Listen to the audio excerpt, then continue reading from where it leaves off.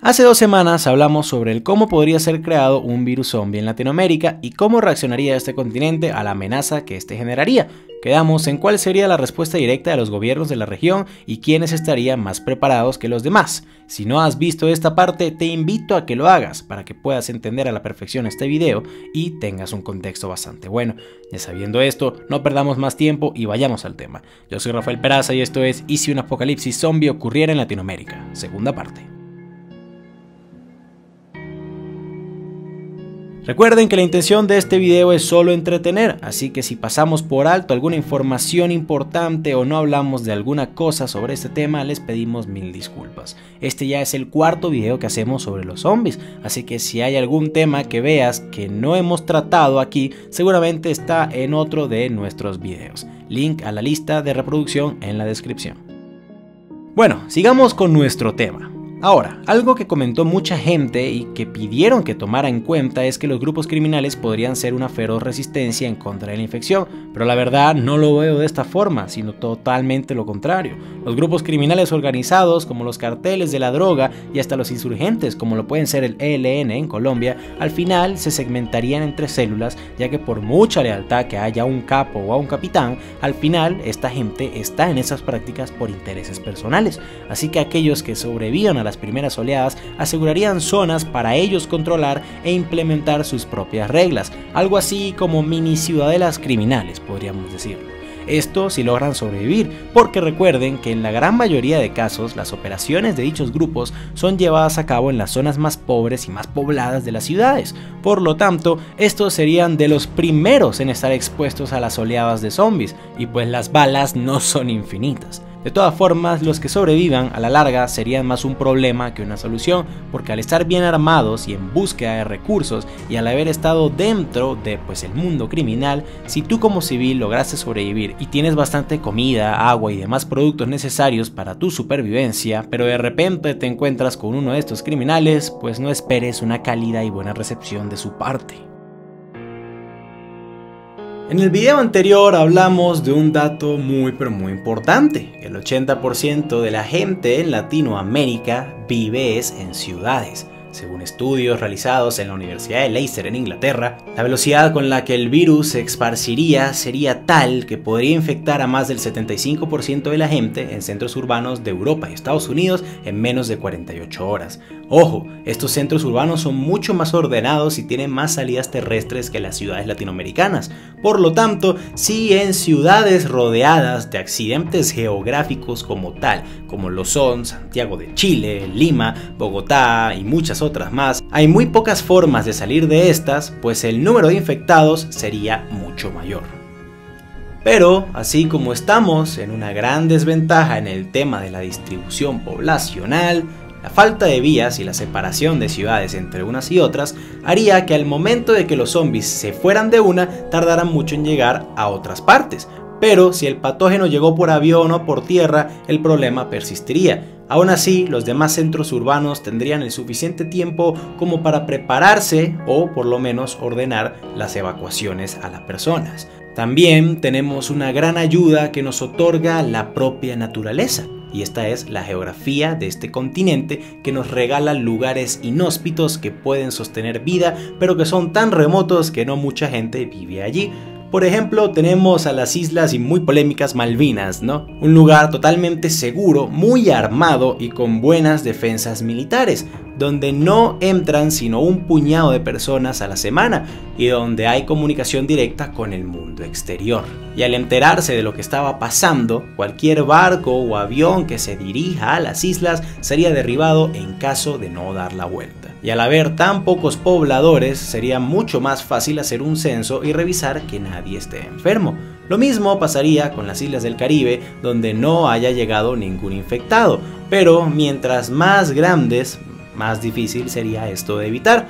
Así que Puerto Rico, la República Dominicana y otras más, hmm, realmente y seguramente ya habrían comenzado a ver cómo la invasión zombie comienza a ganarles. En este momento existen 7 plantas nucleares funcionales en Latinoamérica, 3 en Argentina, 2 en Brasil y 2 en México. Y aunque es verdad que estas tienen sistemas de apagado de emergencias por si alguna cosa sale mal o por si hay algún problema en el mantenimiento, esto no soluciona el problema de que si por la oleada de zombies su personal corre y abandona las instalaciones y el sistema de apagado automático se activa, pues el material radioactivo sigue ahí, sin nadie que se deshaga de él o lo trate debidamente. Por lo tanto, sería solo cuestión de tiempo para que estas plantas se vuelvan inestables y tal vez exploten. No creo que sean todas, la verdad, tal vez una en cada uno de los tres países, pero el daño seguiría siendo bastante grande. Y no solo eso, al no explotar todavía puede haber peligro de fuga, y las fugas siguen siendo muy pero muy mortales, haciendo que la supervivencia en esas zonas sea mucho más difícil. Y hablando del tema energético, en nuestros videos anteriores de este tema tratamos bastante el aprovechamiento de las aún intactas plantas de energía y tratamiento de aguas en el mundo. Y lo mismo aplicaría en esta situación. Si algún grupo de supervivientes se apoderara de, por ejemplo, las plantas de desalinización de aguas en Lima o alguna represa o demás instalaciones en todo el continente, y si logran entender cómo estas funcionan y las vuelven a poner en marcha, pues podrían utilizarlas a su favor para pues formar algún tipo de asentamiento alrededor de y tener acceso a agua limpia, luz, refugio y muchas otras cosas más. Con respecto al desarrollo de una posible cura en nuestras tierras, pues lamento decepcionarlos, pero la verdad es muy poco probable. La gran mayoría de los laboratorios farmacéuticos en nuestros países se encuentran en las ciudades más grandes, por lo tanto, ya se lo imaginarán, ¿no? Seguramente sus científicos ya son zombies hace bastante. Además, muy pocos países cuentan con organizaciones dentro del Estado como tal que se encarguen del control de pandemias y enfermedades a gran escala. Y no solo esto, sino que también sean permanentes, como por ejemplo lo son el CDC en los Estados Unidos. Así que dependería de la población civil con los conocimientos necesarios de medicina y de pandemias poder encontrar una cura y pues sin los recursos necesarios y sin la planeación debida, las pocas personas calificadas para esta misión y que de paso hayan sobrevivido a las primeras oleadas, pues creo que no tendrían la oportunidad ni las ganas de hacer lo posible y de poner sus vidas en riesgo para ver si existe el pequeño chance de conseguir algún tipo de antídoto.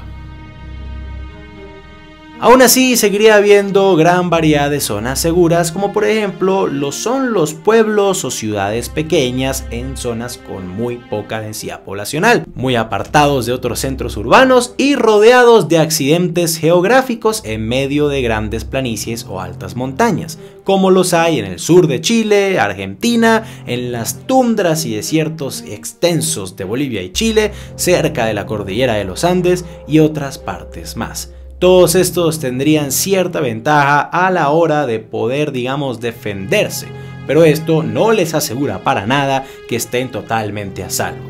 Varios ejemplos de estos lugares son Ushuaia en Argentina y los pueblos a su alrededor, Puerto Natales en Chile, pueblos mineros alejados también en Chile y en Bolivia y Perú, comunidades indígenas aisladas en todo el continente, Manaos en Brasil, pueblos que rodeen la Sierra Nevada de Santa Marta en Colombia, como por ejemplo lo puede ser Palomino. Ciudades sin mucho tránsito aéreo o terrestre y que se encuentren dentro de las penínsulas, como por ejemplo lo son Punto Fijo en Venezuela y Las Galeras y Samana en República Dominicana.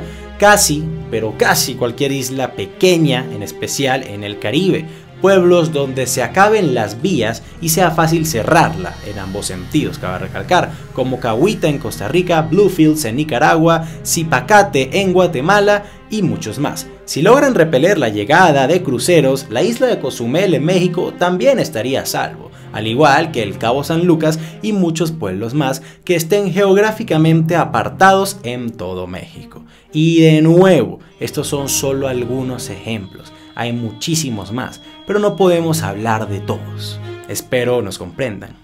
Pero, a pesar de que realmente habrían bastantes zonas seguras, seguimos con un 80% de la población del continente que estaría convertida en monstruos zombies, ¿no? Mucha gente seguiría todavía encerrada y atrincherada en sus casas, y aunque muchas edificaciones en Latinoamérica son más seguras que en otras partes del mundo, claro que sí, ya que por la delincuencia y la inseguridad, la mayoría de edificios cuentan con plantas energéticas, con sistemas de vallas eléctricas, altas rejas con púas, muros y están hechos de materiales bastante resistentes, pues el problema de estos edificios es que tienen demasiada gente dentro y son fortalezas tanto para entrar como para salir. Hay estructuras que pueden albergar hasta 160 familias y donde los ascensores, las escaleras, las propias entradas y las demás salidas son bastante angostas. Entonces, si de repente tu vecino se contagia y no sabe, entra al edificio y se convierte en zombie dentro de este, lo más probable es que todo aquel que no esté dentro de su apartamento sea infectado, haciendo que salir de tu casa sea muy, pero muy peligroso. Y al tener rejas en tus ventanas, en el momento que a ti y a tus seres queridos se les acabe la comida, estarán obligados a abrir la puerta que seguramente tiene reja, haciendo muchísimo ruido, porque estas siempre son pesadas y rechinan, atrayendo así a cualquier cantidad de zombies que estén rondeando tu piso.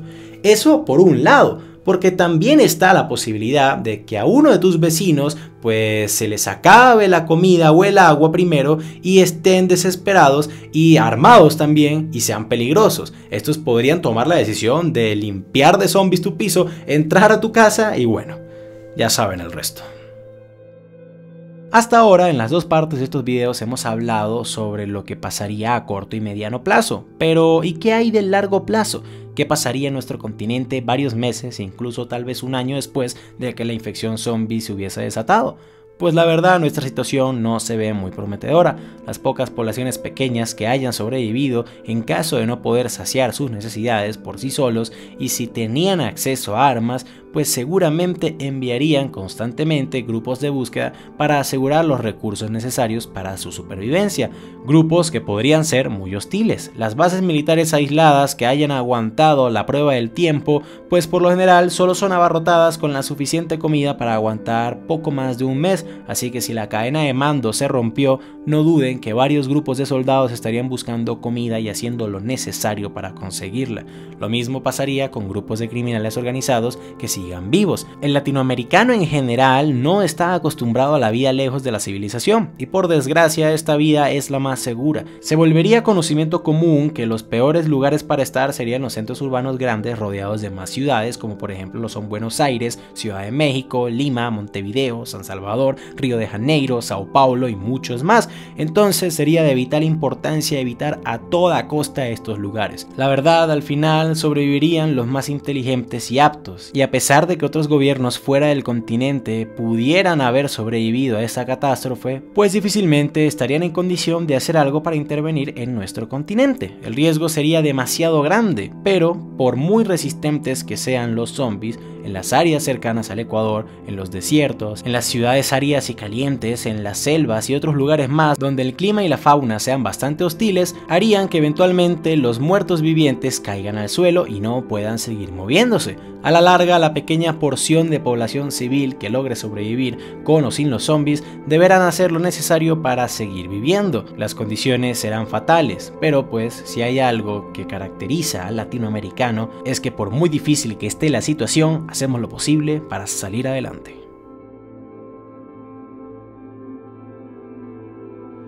Hablar de este tipo de temas y en especial de cómo se envolverían los hechos en nuestro propio continente, en nuestras tierras, de verdad que ha sido una experiencia bastante entretenida, no lo puedo negar para nada.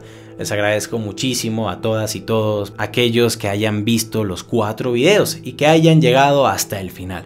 Me alegra bastante que les guste mi contenido y ya sabes, recuerda que realmente si tienes alguna duda, inquietud, comentario o discrepancia sobre lo dicho en esta parte, no dudes en comentarlo en la parte de abajo, a ver si yo lo puedo leer y responder en el video de contestando comentarios que saldrá más adelante en esta semana. Si eres nuevo en el canal y quieres enterarte de todos los demás temas que estamos publicando todos los lunes, no dudes en suscribirte. Si ya tienes tiempo suscrito y quieres ayudarme de una forma más directa, te lo agradecería muchísimo y puedes hacerlo donando en Patreon Es una plataforma donde por un dólar al mes, no más de un dólar, si quieres puedes donar más, pero lo mínimo es un dólar, ¿no? Podrás hablar directamente conmigo, podrás sugerirme temas, comentar cualquier cosa sobre los videos que has visto y ver estos videos tres días antes. Es decir, podrás verlos y comentarlos los viernes en vez de los lunes. Si no tienes la capacidad económica, no te preocupes. Claramente te entiendo, amiga o amigo. Sigue compartiendo estos videos, sigue diciéndole a todo el mundo que vengan y se suscriban y de esta forma podemos seguir creciendo como comunidad. Sin nada más que agregar, yo fui Rafael Peraza para el baúl de los conocimientos inútiles y que tengan muy buen día.